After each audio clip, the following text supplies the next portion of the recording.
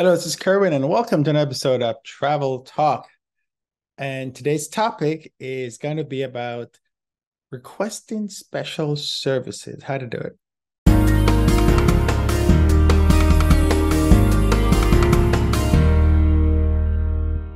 Uh, behind me is, uh, I think it's the Air China B777-300ER, screaming into landing in Los Angeles Airport. Uh, if you ever want to go, stop by Sepulveda Boulevard, and uh, you can watch the planes land uh, from out there.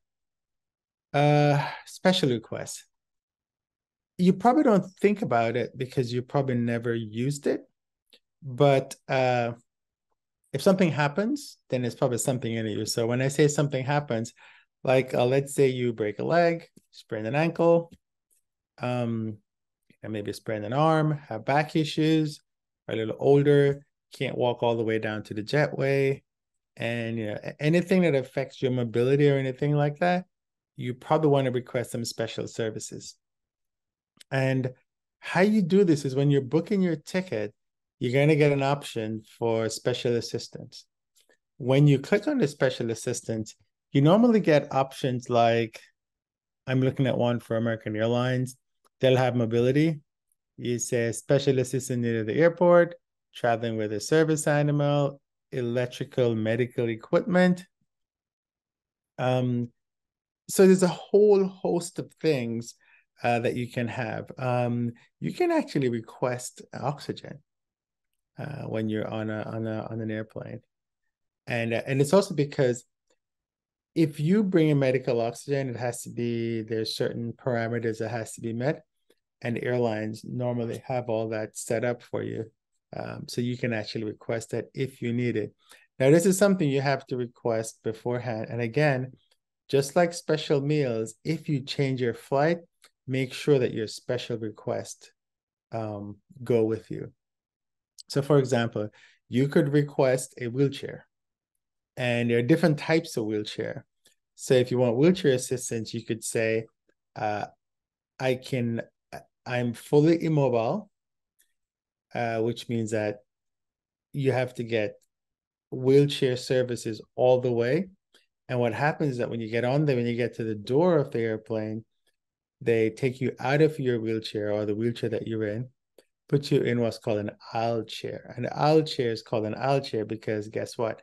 It fits in the aisle of the airplane. Then what happens is they take you down the aisle and take you out of the aisle into your airplane. Now you'll see some uh, some some influencers saying, "Oh, you know, find a new hack. You can lift up the arm of the wheelchair. Oh my God, I didn't think you could do that." Well, there's a reason for it, right?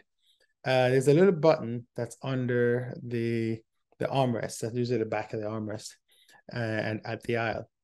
And that little button is there so you can actually lift the armrest all the way up.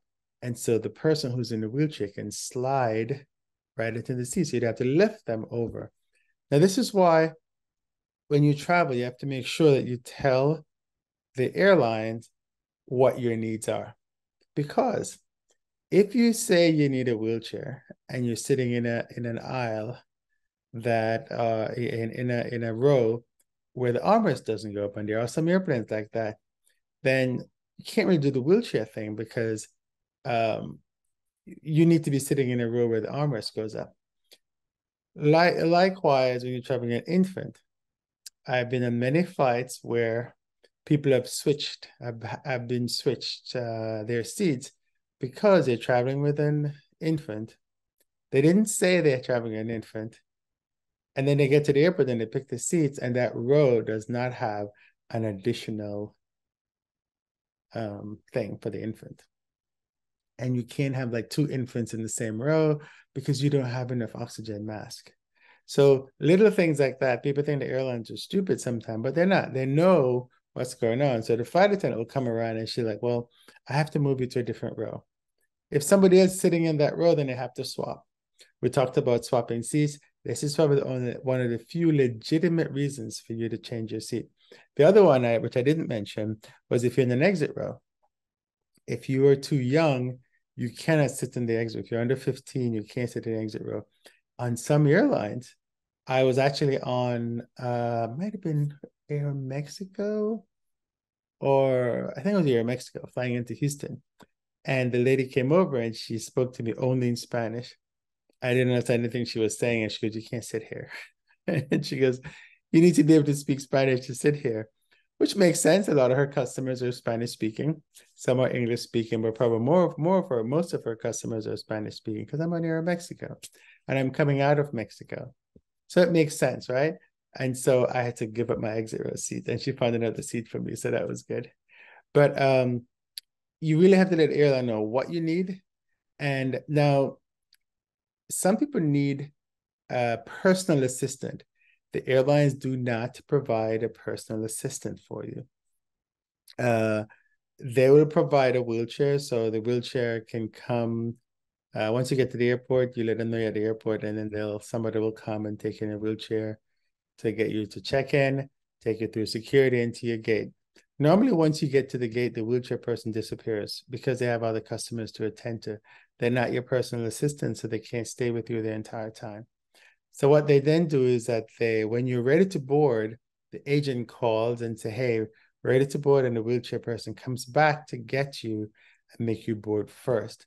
If you are someone who needs to be lifted out of your chair, you can't walk, uh, then they'll board you first and give you adequate time to get settled to get settled in it takes a little while to get all that stuff done. Some people can they need a wheelchair because they can't walk far distances. So they'll need the wheelchair to get to the gate but once they get to the gate they can walk down to the jet to the to the airplane.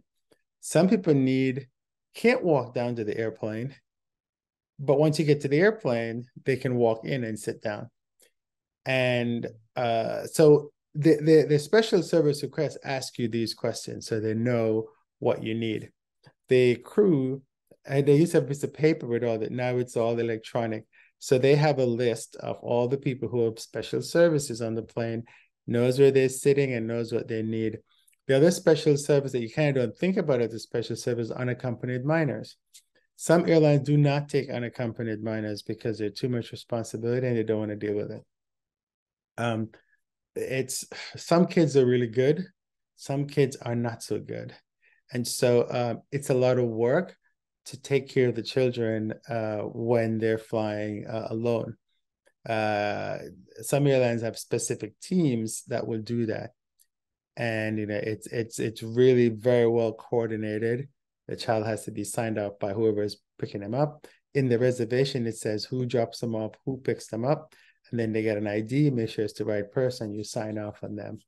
Sometimes the kids um, play silly and run away, and then the airlines can't find them, and it gets hairy. There's been many stories um, about that.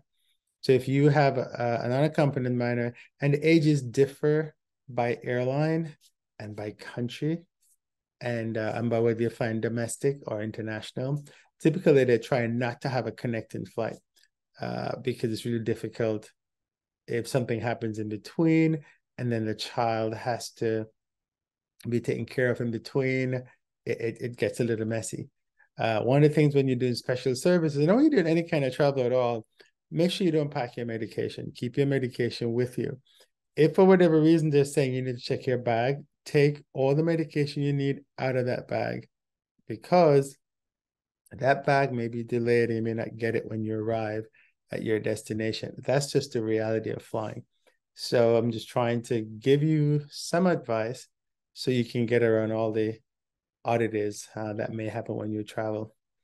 Um, I think that's about it for special services. Uh, don't automatically expect the flight attendants to like, you know, help you with your bag, take your bags down from the thing and all that, because that's not one of their official duties. I think they do it because you know there are people helping people but some flight attendants have back issues. It happens um, and so they can't do a lot of the stuff that um, you know although they're supposed to be able to lift 65 pounds because that's about the weight of the exit row door um, but you know but sometimes they're injured. And uh, so that's about it for um, for these but just remember, you can request it and you request it when you're making the booking. If you're unable to make it when you're making the booking, you can call And then when you call, sadly, there's probably going to be a hold because that's how it is these days, unfortunately. Uh, but when you call, you give them reservation and they will take care of it for you. Always make sure they do it on all the segments. So if you have a return flight, let them do it on the return flight as well, the outbound flight. Sometimes they don't. So after they do it, go back to the airline website, pull up your reservation and check on the reservation to see if it's there. Uh, the, the larger airlines have ways for you to go to the website, pull up your reservation, your confirmation number, and your last name, and you can see all the special services that you've requested, including special meals if that's one of them. Some airlines are not that sophisticated and you won't see that. And so uh, you have to call, especially like with the low cost carriers. Um, and if you book the reservation on an online agency, you may not have been able to request what you need. And even if you requested what you need, you should go back and check anyway. And about, I'd say 48 hours before, call to make sure it's still there because lots of airlines says you have to do it at least 24 hours before to make sure you do that. Also recognize that some airports may not have uh, some of the systems that you need. The smaller airports may not have anything. Or if they do, you have to get there earlier because you know they may only have one or two people working wheelchairs and then they have a few more flights. The smaller the airport gets, the more trickier this gets. So just bear just bear that in mind that you may not may not have all the services like you would at the larger airports. So that's it for this one. Uh, how to do special services. This is Kerwin with PassRider.com, Cruisinaltitude.com, and uh, for another travel talk. Have a great trip.